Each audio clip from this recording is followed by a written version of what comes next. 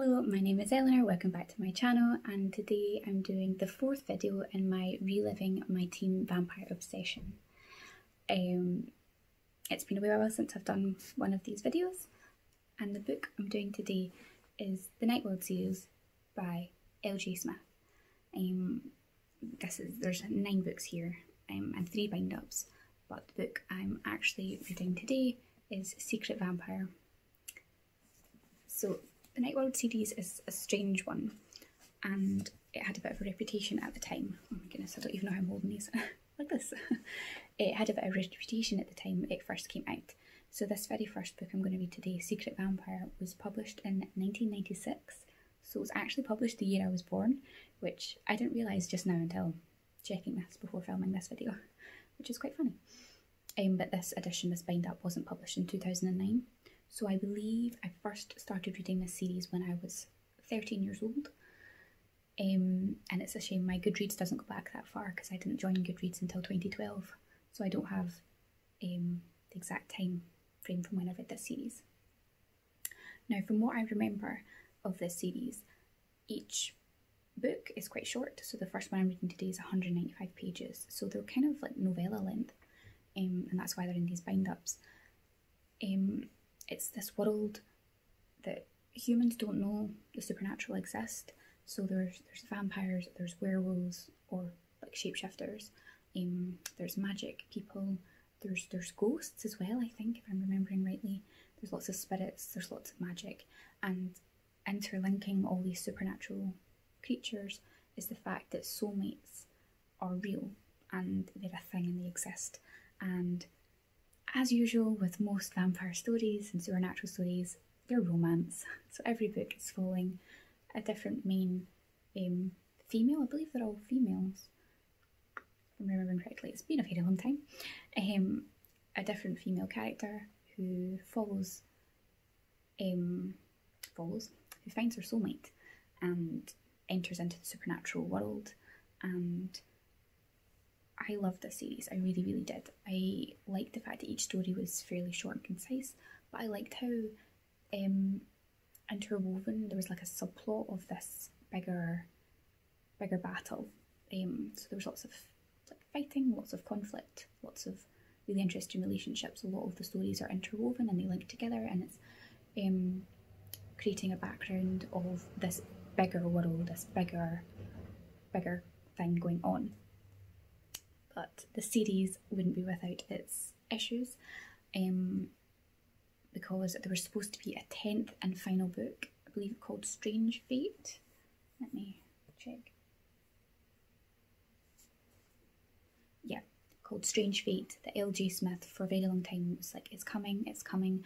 This 10th book was supposed to be the be all, end all, climactic thing. It was supposed to bring all these story points together. There was supposed to be a big final battle, the big, huge, dramatic, climatic ending, and we never got it because I believe.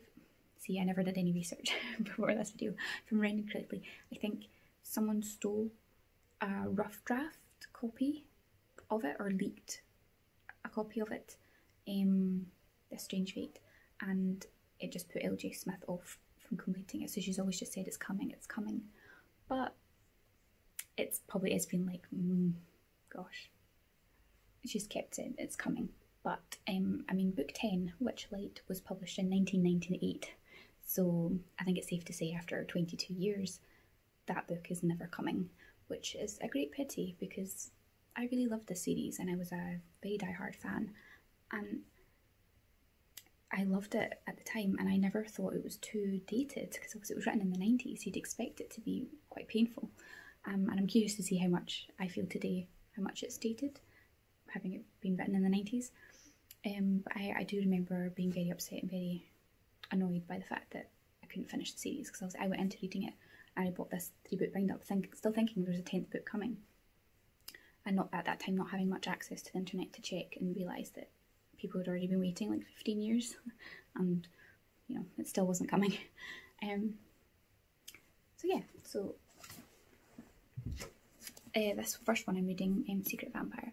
The little I remember of it I think starts off there's a young girl. I think she's been given a terminal diagnosis. I think I believe it's some sort of cancer, and her boyfriend is a vampire, and they're soulmates, obviously, and yeah, I believe that's that's what happens, and that's the introduction to this this world. And I don't really remember much beyond that. But as I say, it's 195 pages, so it'll be interesting to to see how how much has actually happened in that short space of time. But yes, um, come along on this adventure, and we'll see if we remember what happened. That was a really quick read. I couldn't even tell you how long that even took me.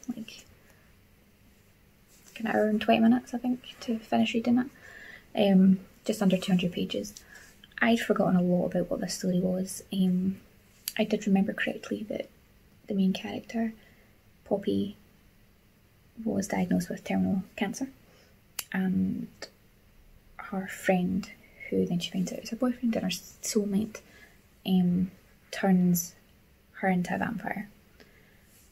And it's a very short story, and but it all takes place over a really short period of time.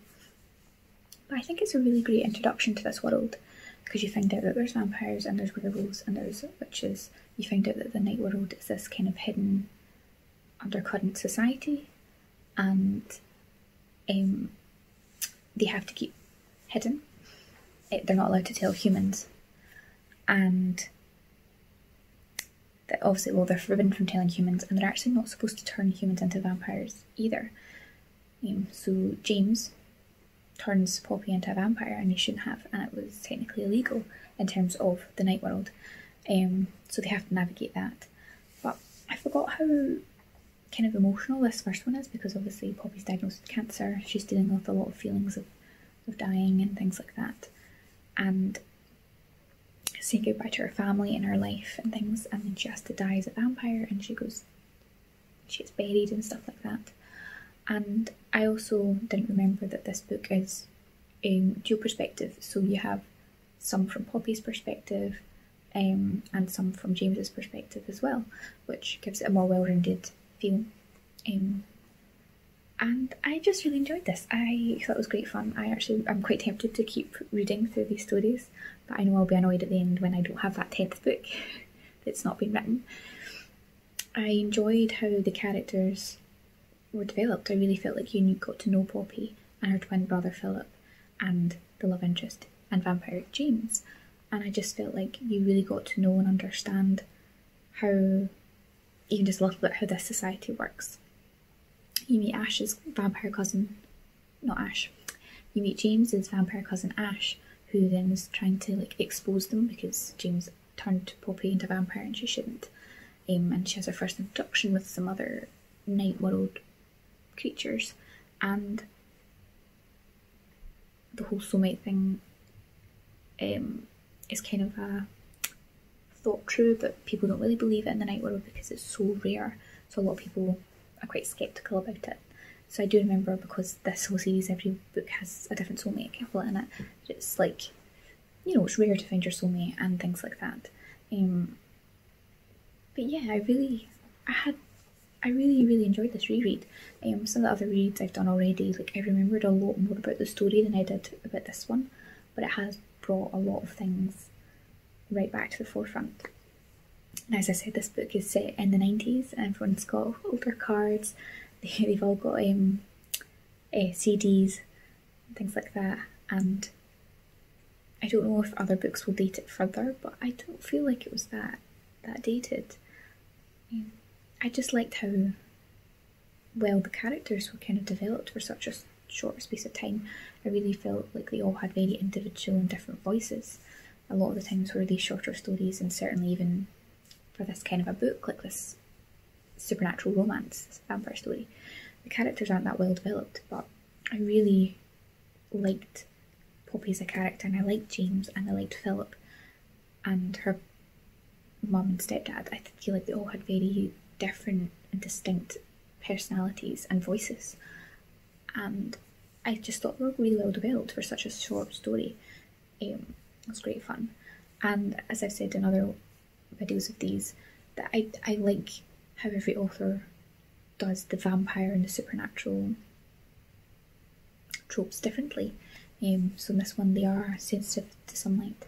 They have to feed every day. Um, they have a measure of like telepathy, and they have the ability to compel people to do what they want and to forget things and things like that. And you know they are stronger and faster and things. But in this one, I'd forgotten that. Um, so Poppy, because she's been turned from a human into a vampire, she is a vampire. But James and his family are Lamia. Um, there he was born vampire, so um, his parents had him, and he grew up from a small child because him and Poppy went to kindergarten together and they grew up together. Um, so I'd forgotten, and I really like how it's done that there's born vampires, so they have families, like real families, and that's why they're not supposed to turn other vampires because it's supposed to just keep it in the family. So I'd forgotten that aspect, and they can obviously Lilamia can choose when they stop aging and things like that. So presumably James would stop aging about now to keep on age with Poppy, who is stuck eternally at 16. Um, so I like that family connection, and um, I think it comes up in later books. These interwoven like vampire families and things like that. They can have their own children, and it means they do sleep and they do eat human food, but they do have to drink blood because they're a vampire. Their blood doesn't flow through their body doesn't sustain them, so they have to drink human blood to pass the oxygen through their body, and that's why they have to feed every day. They have to replenish that blood circulation in their body, and I just thought that was a really clever concept uh, of way to have the vampire included in the book like that.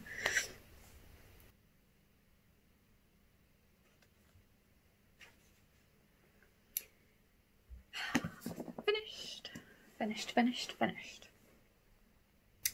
So overall, I thoroughly enjoyed rereading um, The Secret Vampire by L.J. Smith, and I don't feel like it was too dated, and I think I would really enjoy reading all of these stories again, although I know there is a couple that I didn't enjoy as well as others. But I really love this world, and this has brought me right back 10 years ago when I first read this when I was a teenager, and I just had so much fun with it. So let me know if you've read Night World series by L.J. Smith. Um, did you have a crazy vampire obsession when you were younger like I did? Or have you read it more recently? I, I know L.J. Smith is much more well known for her The Vampire Diaries series that was then obviously made for TV. Um, so I want to know if any of you have read this series instead, because this, I believe, came first before she wrote Vampire Diaries. Um, and I would love to, to chat and enthuse about it. I don't have much bad to I don't have anything really bad to say about this. Um, if you like romance and maybe an element of insta love because of the whole soulmate thing, although there's not really insta love in this first one because they've known each other their whole lives and Poppy has kind of been in love with James for a very long time. I do know in the other books there is more of an element of like instant love and attraction because of the whole soulmate thing. So if you are interested in romance and supernatural and things like that, I would really recommend this series. Um, but overall, I don't really have too much negative things to say about it. I think the characters were well developed, and I think for such a short story, I think it was handled really well. So yeah, so let me know if you've read anything about this series, and I'd love to have a chat with you in the comments. So thank you for watching, and I'll see you in the next video.